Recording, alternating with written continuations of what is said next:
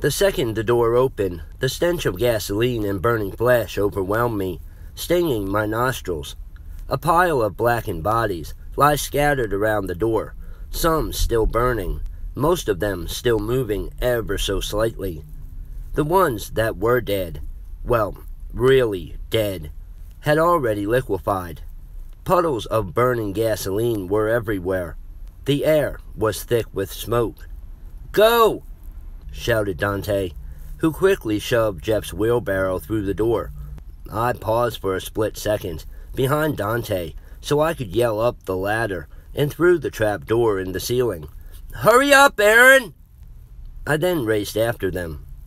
Dante wheeled Jeff down the back of the Walmart in the direction of the parking lot. Jeff was sitting up in the wheelbarrow with his shotgun raised in front of him.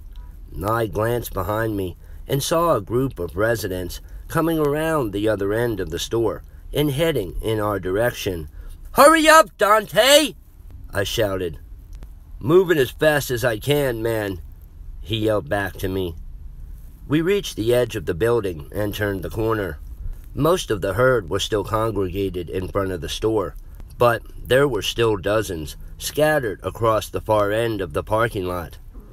Dante pushed Jeff ahead of him in a wild dash, dodging around the corpses, skirting the main parking lot, racing toward the highway. I was right behind Dante. I felt something then grab me from behind. A corpse had a hold of me, clutching my backpack. Live. I tried to pull away, but its grip was too strong.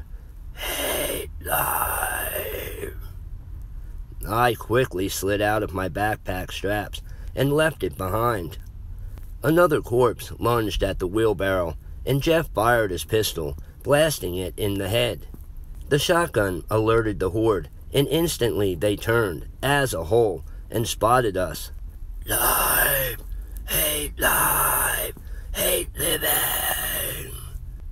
They began screaming in unison and charged in our direction.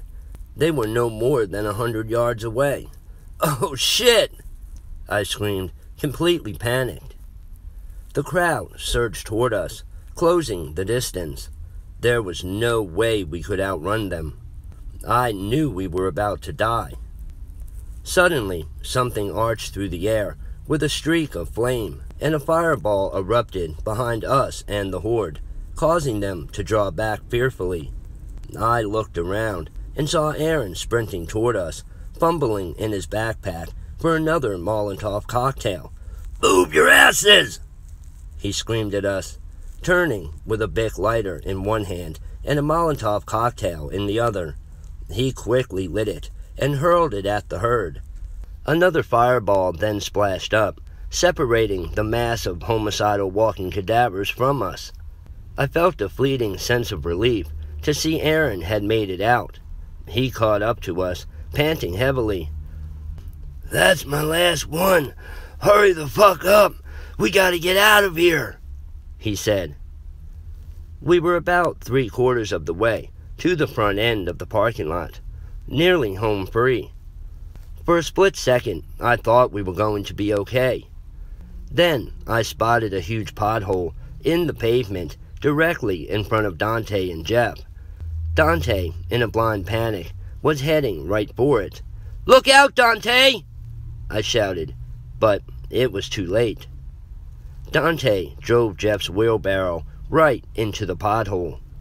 The wheelbarrow overbalanced and turned over, spilling Jeff and the supplies piled all around him onto the ground. He screamed as his injured ankle struck the asphalt. No, fuck! Aaron shouted. Him and I ran to help. We gotta get him back in! Dante screamed. He and Aaron then began reaching down to grab Jeff. Hate life!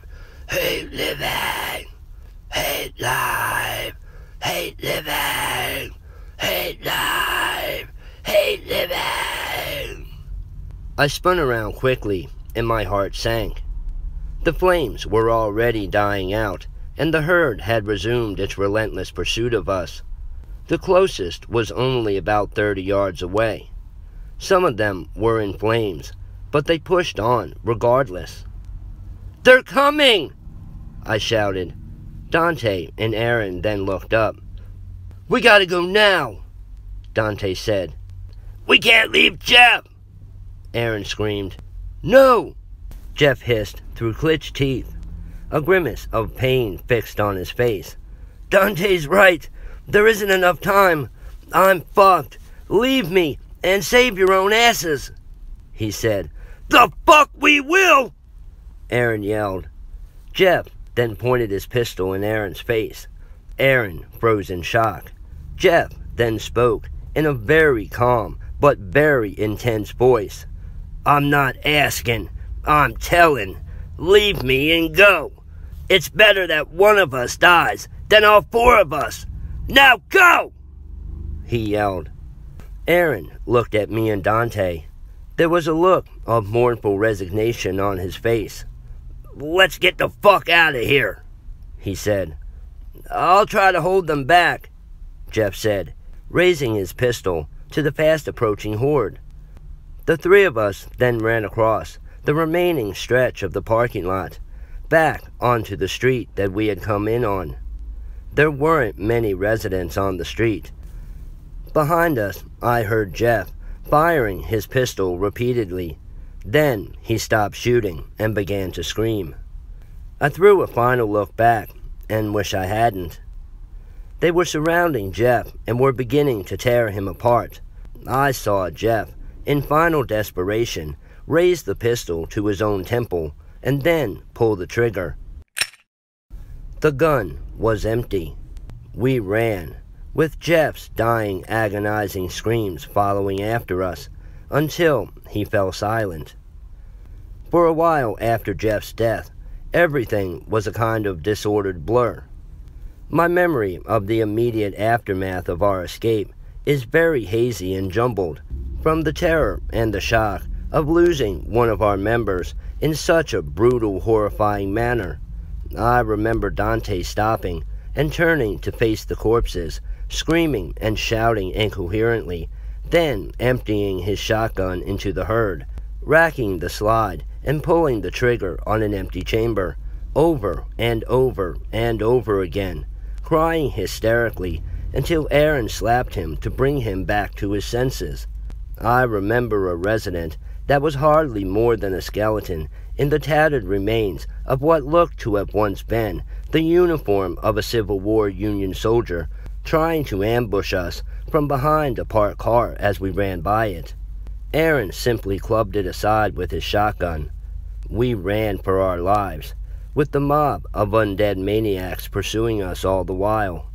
Somehow, at some point, we lost them and managed to escape town and get back on the open road.